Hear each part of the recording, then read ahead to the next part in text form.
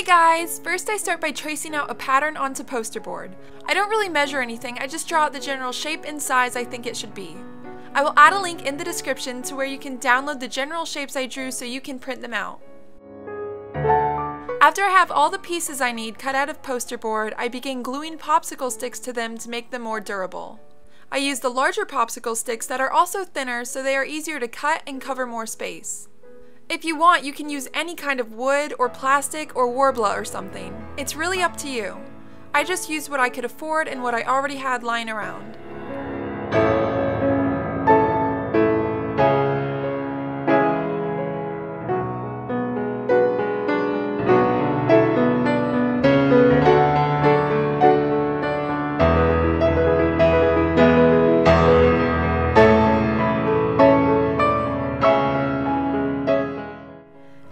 Popsicle sticks into pieces with strong scissors and glued them to the poster board.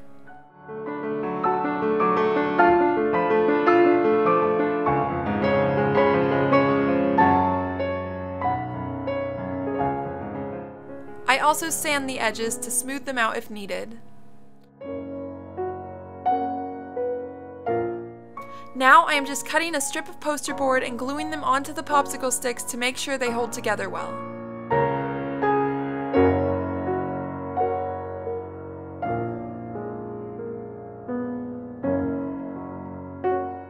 I finish by adding some wood to the tip. And this is what I have so far. Next, to hide all of the popsicle stick work, I glue a strip of craft foam over it.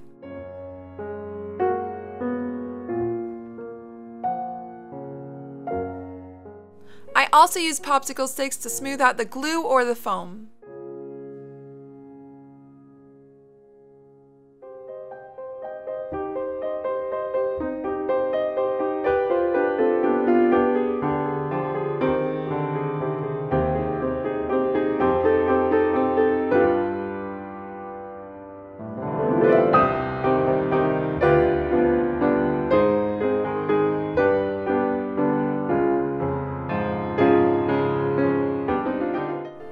After I'm done gluing down the strip of foam, I cut all the extra foam off the edges.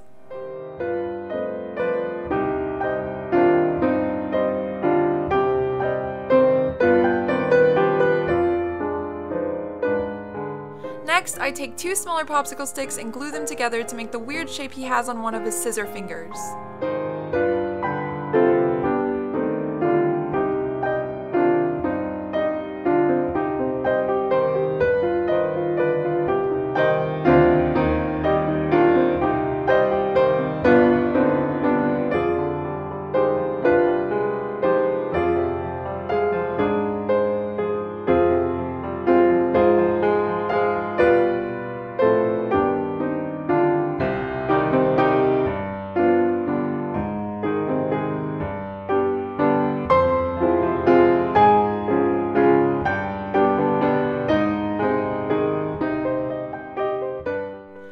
The same steps for the rest of the scissor fingers.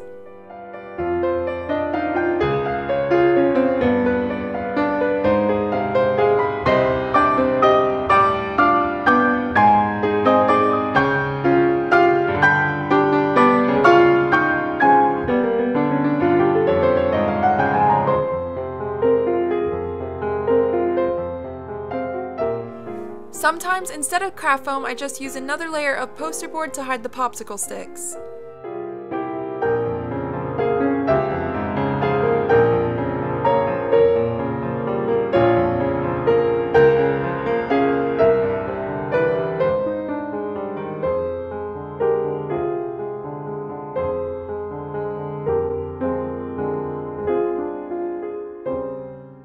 Here are all the fingers after making them.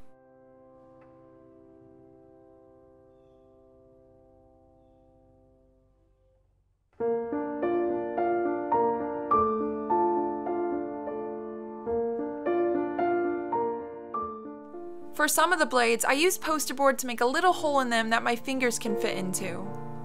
Here you can see what I mean by fitting it on my fingers.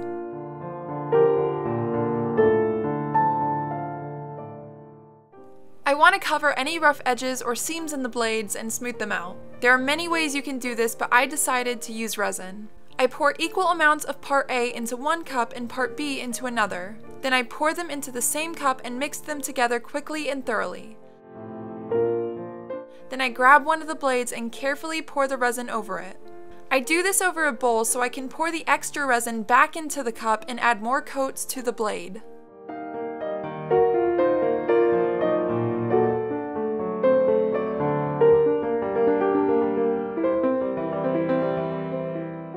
Resin gets thicker over time and eventually hardens, so you have to act fast depending on the resin you are using. I then repeat the steps for the rest of the blades. I'm sure there are plenty of other things you can use to smooth rough edges such as wood glue, filler putty, Mod Podge, or anything else you can think of. I just used what I already had available and also wanted a more plastic-like coating for durability. It ended up working out really well. And who knows, maybe someone will find this technique useful for another project.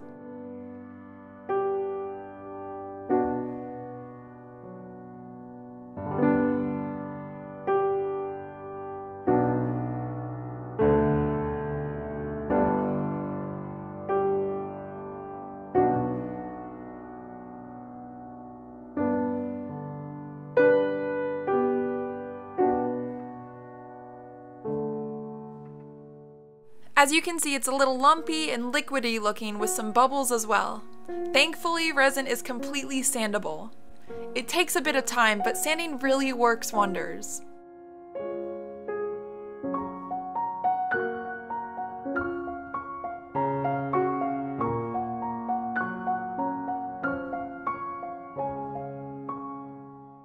When I'm finished sanding them all, I have very durable, smooth scissor blades. Now I can move on to painting and putting them together. Next, I spray paint them with a coat of black, then a coat of silver.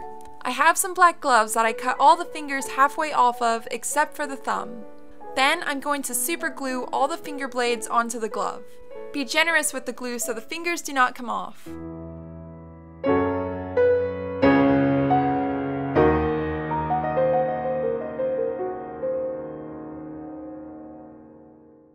Now I am just taking apart some old scissors I had so I can use the handles.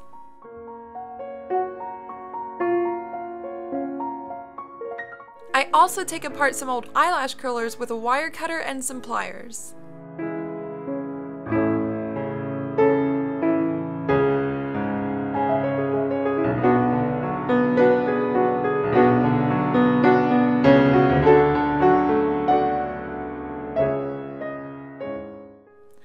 Much video to show of how I attach the handles, but I used glue, string, popsicle sticks, and basically anything I could do to figure out how to attach them. I cover some of the handle with vinyl and cut it into shape, but you can also use craft foam for this. And then I just glue it in place.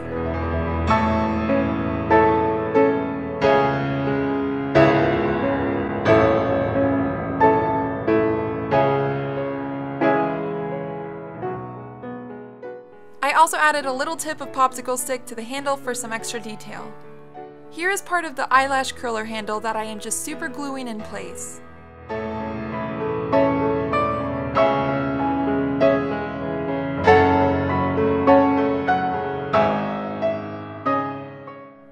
I also made some of the other handles out of popsicle sticks and craft foam. Then I just glue them in place.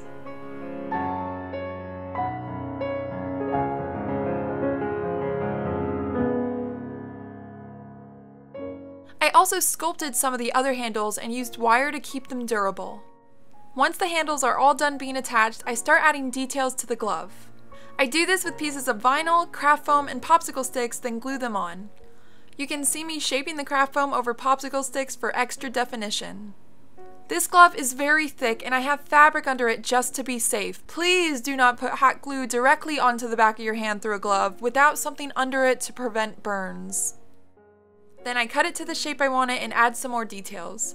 Next, I coat everything in Mod Podge.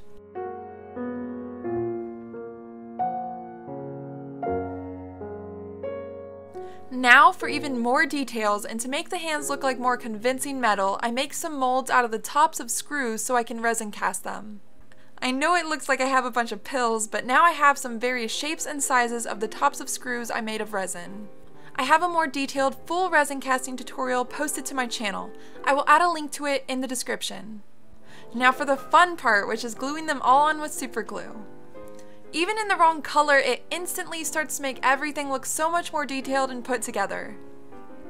Keep adding the details as you see fit and do lots of movie watching and image searching to get the references you need to see the details.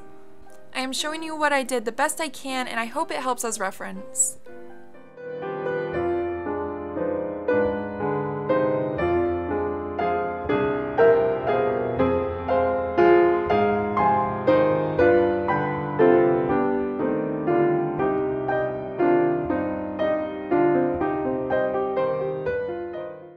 Don't be afraid to experiment with a bunch of different materials. As you can see, I used a bunch of stuff like resin, popsicle sticks, craft foam, poster board, vinyl, wire, and more.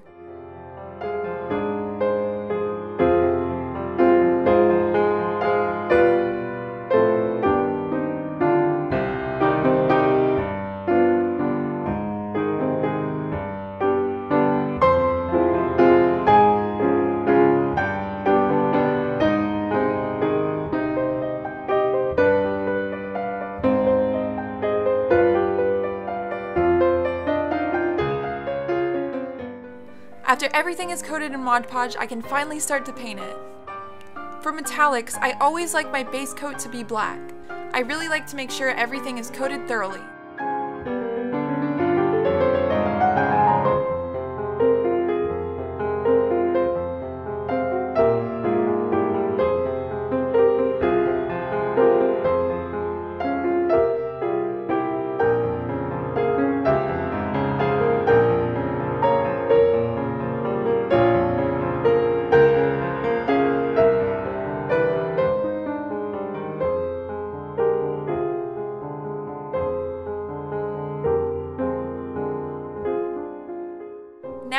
Metallic detailing. I am just using basic metallic acrylic craft paints that I got for $1 at Walmart and local craft stores. I then start brushing the silver in sections I want to look like metal.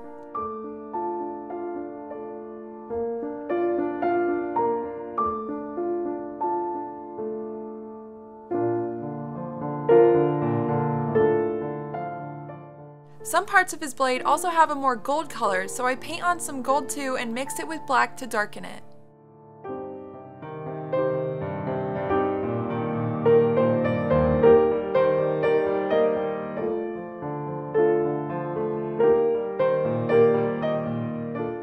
There are also other accents on the scissor handles like burgundy, so I mix some red and black.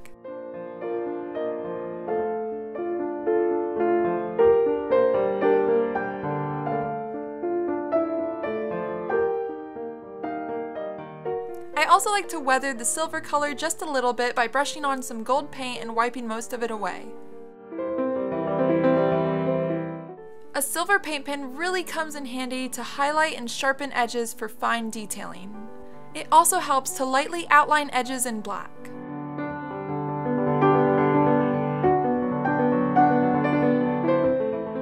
I also add some red and copper paint to give it a slightly rusted look.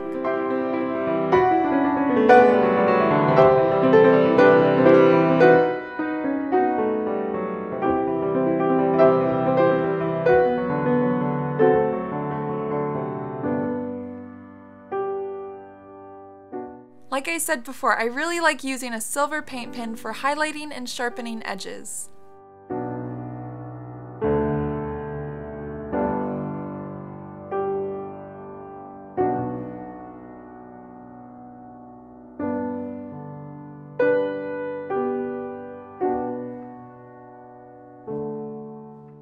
I sew the glove to some strips of vinyl just for extra detailing. I also add some trimmed down popsicle sticks tied and glued together with elastic string to make it look like a functioning metal part coming from my wrist. I also use wire in other areas. Then I gave the sticks a paint job to make them look like metal.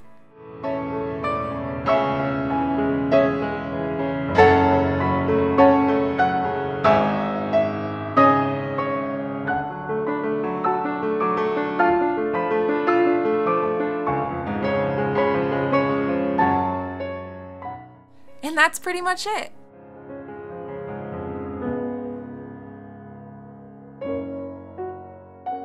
I was so worried about this project when I first started it. I thought I wouldn't be able to afford it or figure it out because the design is so intimidating.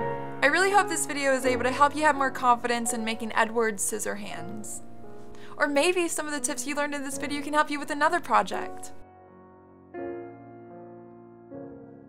Huge shout out to Purple Schala for playing the beautiful music you heard in the video. Also, thank you to my friend Alan for recording the intro clips. You should definitely go check out their channels. I also have an Edward makeup, wig, and full costume tutorial posted on my channel as well as other cosplay tutorials. Thank you so much for watching guys, bye!